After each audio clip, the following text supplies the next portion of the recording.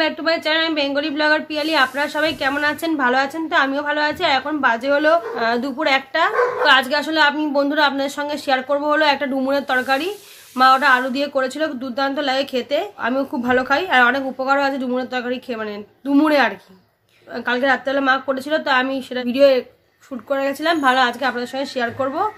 তাহলে আপনারা দেখে নিন ওইটা মানে রেসিপিটা ডুমুরের। তারপর আমি আবার আসছি। আজকে দেখুন আমি ডুমুরের তরকারি বানাবো একদম অল্প ডুমুর মানে এটা কিনে আনিনি, গাছ থেকে পেরে এনেছি একজনের অল্প। এটাকে আমি নুন দিয়ে আগে একটা সিটি মেরে নিয়েছি। আপনারা এমনিও সেদ্ধ করতে পারেন। দুটো আলু একদম ছোট ছোট করে কেটে নিয়েছি। এটা চন্দ্রমুখী না জ্যোতি আলু। এর মধ্যে আমি টমেটো, আদা আর কাঁচা লঙ্কা পেস্ট করে নিয়েছি। কড়াতে আমার তেল দেওয়া হয়ে গেছে, তেলটা আমার গরম হয়ে গেছে। এতে আমি একটু গোটা জিরে ফোড়ন দিচ্ছি। একটা শুকনো লঙ্কা দিচ্ছি, একটা তেজপাতা দিচ্ছি। দিয়ে আমি আলুটা ভেজে দেবো আমরা অনেক সময় চিংড়ি মাছ দিয়েও করি, আজকে আমি একদম নিরামিষ করব। মানে ঘি গরম মশলা দিয়ে করব। এটা প্রেশারের পক্ষে দারুণ ভালো। পাওয়াই যায় না এসব জিনিস এখন। তো আমি একটু এতে হলুদ দিয়ে দিচ্ছি, হলুদ দিয়ে একটু ভাজবো। আলুটা একটু লাল লাল করে ভেজে নিতে হবে। আর এই মিক্সারের মধ্যেই আমি অল্প হলুদ, অল্প নুন অল্প একটু চিনি দেবো কালারের জন্য। কালারের জন্য আমি একটু কাশ্মীরি লঙ্কা গুঁড়ো দেবো। এতে দিচ্ছি আমি জিরের গুঁড়ো। অল্প একটু কাশ্মীরি লঙ্কা গুঁড়ো দিচ্ছি। অল্প একটু ধনে গুঁড়ো দিচ্ছি। লাল লঙ্কা গুঁড়ো আছে, কিন্তু দেবো না লাল লঙ্কা গুঁড়ো। তাহলে বেশি ঝাল হয়ে যাবে। দেখুন, আমার আলুটা লাল লাল করে ভাজা হয়ে গেছে। এবার আমি এই মশলাটা দিয়ে দেবো সব।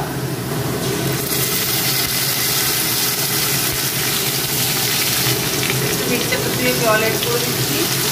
তো এটা একটু ভালো করে কষাতে হবে। এটা আমি কিন্তু এখন রাতের বেলা রান্না করছি, রাতের জন্যই শুধু একবেলার তো ভাবলাম আপনাদের সঙ্গে এটা একটু শেয়ার করি। আগে আমি শেয়ার করেছি কিনা আমার ঠিক মনে নেই, তাই ভাবলাম যে এইটুকু দিয়েই শেয়ার করি। ডুমুরটাকে না আপনারা এরকম করে কেটে নেবেন, এই যে এই পুরো চারকোনা দিয়ে বিচিটা ফেলে দেবেন মানে দানাগুলি পোস্তের মতন ফেলে দেবেন। এবং গোল গোল করে ঘুরিয়ে ঘুরিয়ে কেটে নেবেন। আর যেগুলি একদম ছোট, ওগুলি বিচি শক্ত হয় না। ওটা আপনি এমনি দু ফালি করে কেটে নিতে পারেন কচিগুলি। আমার মশলা দিয়ে তেল ছেড়ে এসছে, কষানো ভালো মতন হয়ে এসছে। এবার আমি এই ডুমুরটা এর মধ্যে দিয়ে দেবো।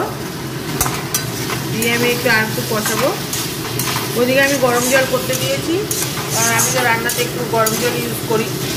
ডুমুরটা অতিরিক্ত কম, আরও এতটা হলে বেশি ভালো হতো। তেলটা মনে একটু বেশি দিয়ে ফেলেছি। আপনারা একটু কম দেবেন। মানে এতে আবার একটু আমি ঘি দেবো, গরম মশলা দেবো। আমার একটা কষানো হয়ে গেছে, আমি জল দিয়ে দিচ্ছি।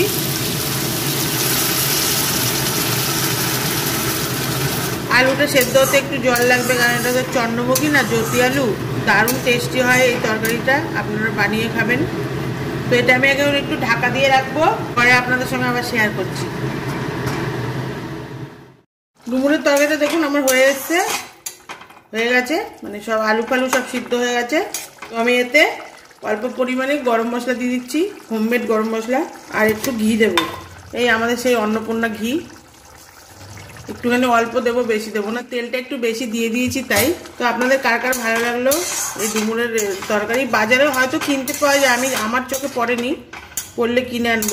এরকম আপনাদের বাড়িতে গাছ থাকলে আপনারা বানিয়ে খাবেন, অতি অবশ্যই। খুব ভালো প্রেশারের পক্ষে। দারুণ লাগে খেতে।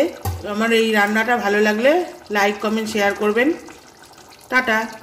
তো আপনারা দেখলেন তো রেসিপিটা এটা একদমই নিরামিষ রেসিপি এটা সবাই খেতে পারেন। আর এটা প্রেশারের পক্ষে খুব ভালো খাওয়া।